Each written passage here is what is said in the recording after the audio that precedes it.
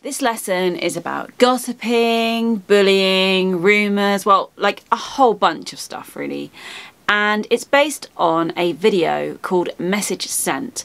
That's a video that was written and produced by a group of young people down in Cornwall and I was lucky enough to work with them to understand why they created the film and what they thought were the important questions that young people should be exploring. And so I created this lesson with their input and their ideas based on what they thought mattered. I hope you'll find that it's stuff that matters to you too, that it helps you ask some important and interesting questions, um, and that it gives you some ideas about how to maybe do things a little bit differently in future.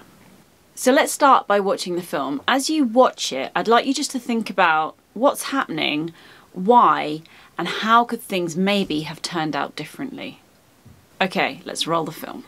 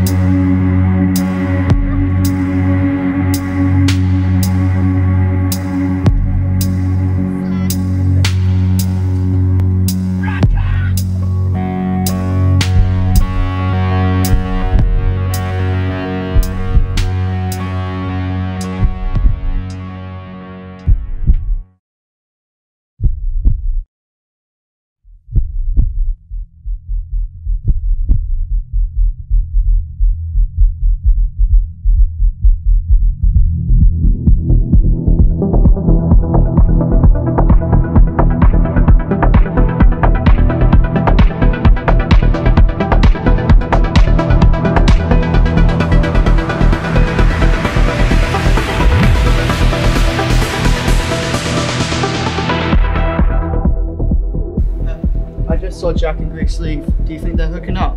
No, Grace is just upset Jack's helping her out. Huh.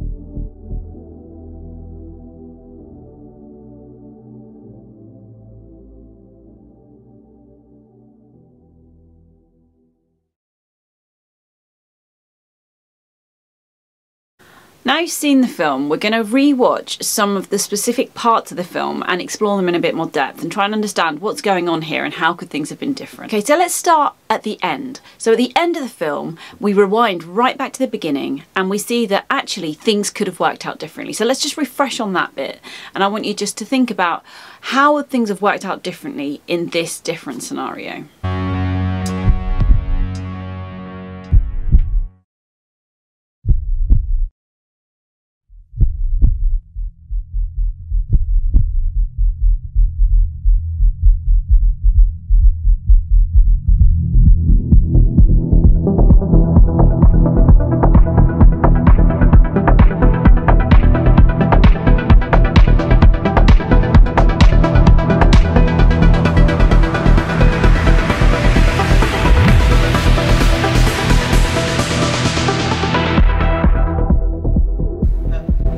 Saw Jack and Grace leave. Do you think they're hooking up?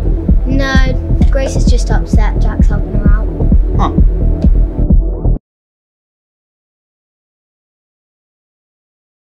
Now we've had a chance to think about how things worked out differently in this instance.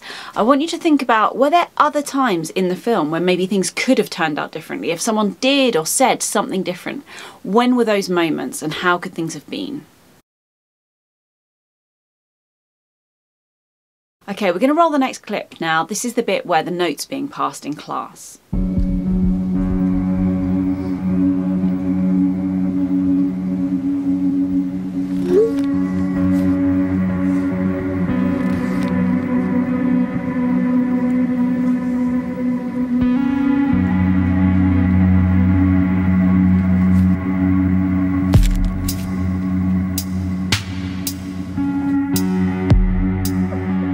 Reflecting on that clip, I want you to have a think about this from the different points of view of different people in the room. How do you think the bully is feeling? How is the victim feeling? And how are the bystanders feeling? And what could or should the bully, the victim, and the bystanders have done next?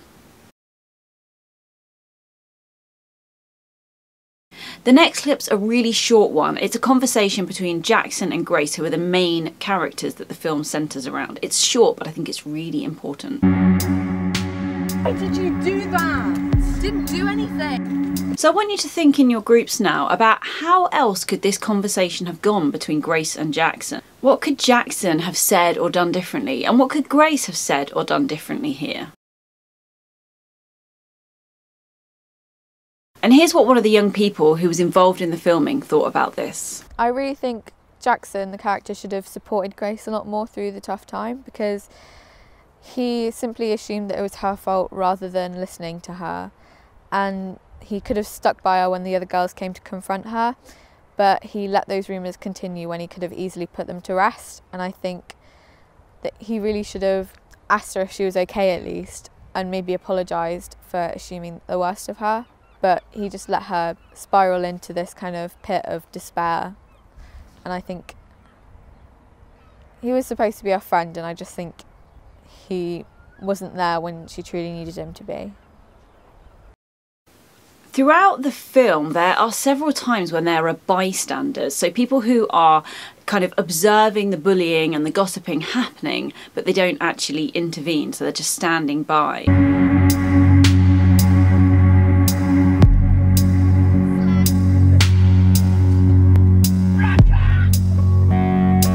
You to think now, is there a difference between a bystander who's watching the bullying happening and the bully?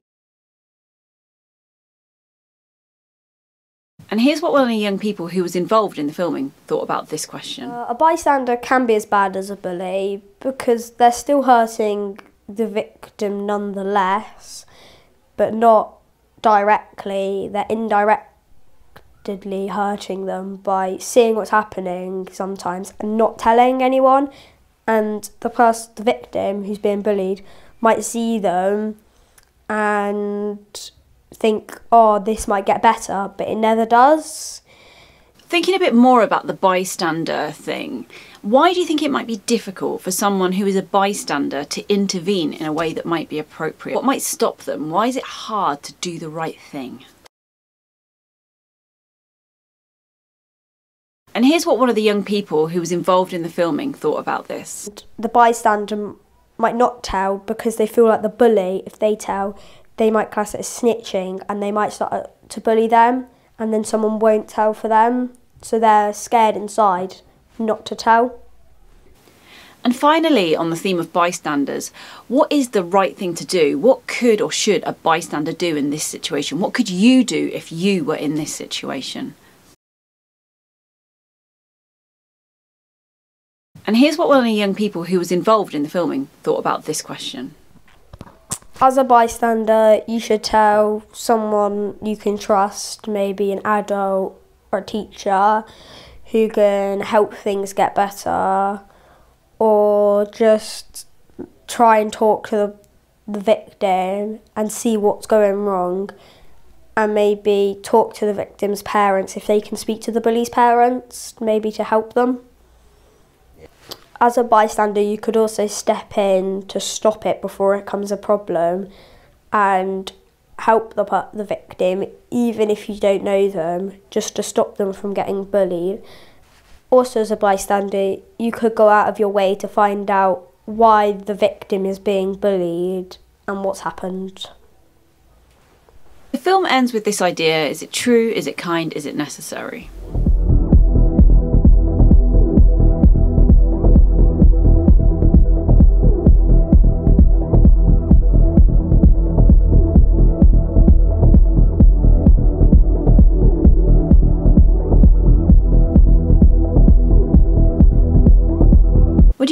Meant by that? Is it true? Is it kind? Is it necessary?